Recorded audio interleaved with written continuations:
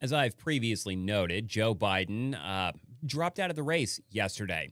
I was wrong. I thought he was going to stay in until November. I didn't think there would be any way they could get him out. However, there are some interesting things going on with that. First of all, he dropped out via a screenshot of a letter that was not written by him. It was a digital signature on that letter, and handwriting analyses um, indicate that it doesn't matter. Handwriting analysis is as much science as seeing the future in tea leaves or reading tarot cards, so that's irrelevant. Um, but there are some weird questions going on because he hasn't made any public appearances. His schedule is clear for the entire week, and um, the announcement was only made on Twitter. And then a bunch of paperwork was filed behind the scenes with the SEC, or sorry, the FEC. It's just raising a lot of questions. And then today, there was an odd update from Biden's doctor, according to Brian Harrison, uh, saying that President Biden has completed his uh, his tenth dose of Paxlovid this morning. His symptoms have almost uh, resolved completely. His pulse, blood pressure, respiratory rate, and temperature remain absolutely normal. His oxygen saturation continues to be excellent. Uh, on room air, his lungs remain clear. The president continues to perform all of his presidential duties. I will continue to keep your office updated with any changes in his condition or treatment plan. This was sent, of course, to the press secretary. Weird thing to say and really weird timing, especially considering he was going to isolate for about 10 days, if I remember correctly, although my memory may be a little bit off. Um, but again, there are there's nothing uh, public going on. Um, in fact, OSINT defender says, according to Israeli sources, a meeting at the White House, which was scheduled to take place tomorrow between Joe Biden and Israeli Prime Minister Benjamin Netanyahu uh, during his ongoing visit to the United States, has now been canceled. And Netanyahu is now attempting to and demanding a meeting with Donald Trump instead. So something weird really weird is going on. And I want to thank a member of my audience, Justin Kuhn, uh, on Twitter for uh, for providing some of these links to me. He uh, he's been sending me a lot of information, and it is definitely helping with my research process.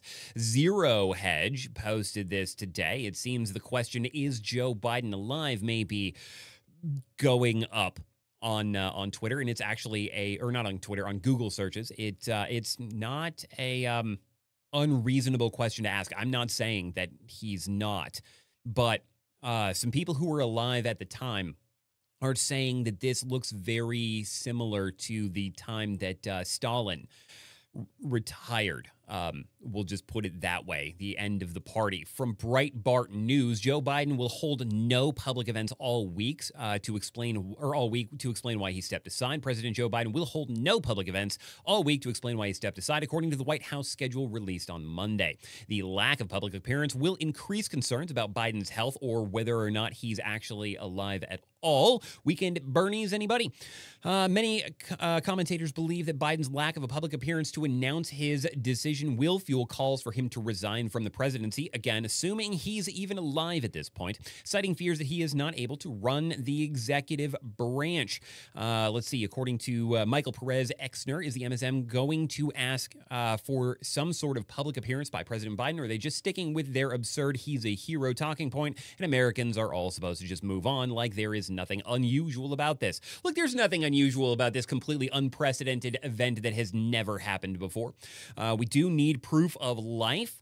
Um, according to John Cardillo, uh, says quitting when you're clearly uh, incapacitated on a Sunday from an account you don't control is so painfully suspicious, and I wish we could just have a normal, not sketchy AF thing happen for a change. Julie Kelly says absolutely unacceptable. WTF is going on.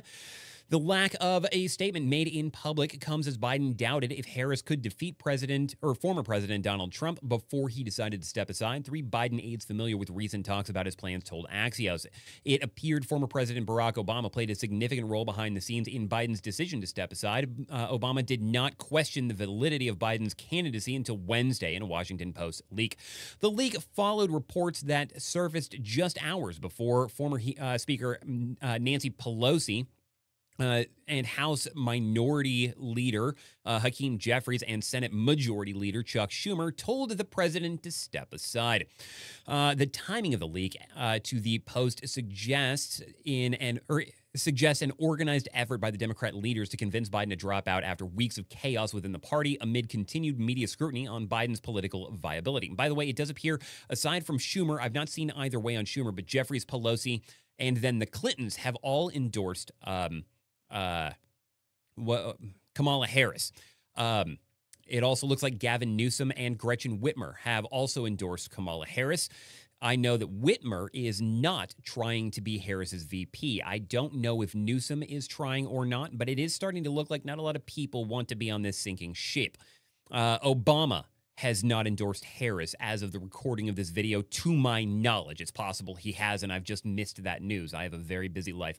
The idea here is that uh, Obama, Pelosi, Jeffries, and Schumer do not want to be seen as backroom party bosses engineering a Harris uh, coronation. Well, it seems as though that's actually what's going on and is exactly what happened. Uh, Playbook reported. And if there's a real challenge, uh, then they want to be able to unite the party again when there's a nominee, which is looking like will likely be Harris. Uh, from what I am seeing, she will likely have enough delegates um, to get the required nomination by the end of day on Wednesday. Democrats appear to be coalescing around Harris, uh, including Hillary and Bill Clinton. The rumor is that they're trying to work Hillary in as the VP. Don't know if that that's going to happen. And the squad, the top Democrats uh, who have not backed Harris in public are Obama, Pelosi, Jeffries, and Schumer. Although uh, Pelosi had backed um, Harris by the time I recorded this. So they have not updated this article, it seems. Uh, Harris is not very popular with a 38.6% approval rating. According to 538, Biden's approval rating is 38.5, so roughly, roughly uh, three points better than Biden. Both approval ratings mark uh, or rating marks are below the 50% threshold that an incumbent typically needs to win election. However, Kamala isn't technically an incumbent, and even if they 25th Amendment Joe, she's not really going to be an incumbent, despite what they're going to claim. The fact of the matter is, where is Joe? What is happening? Is he alive? I want to know your thoughts correctly and not against any terms of service or Fed posting down in the comments below. Then head over to my locals page, thearthurnix.locals.com, where you can support me for $3 a month. Till next time, thanks for watching.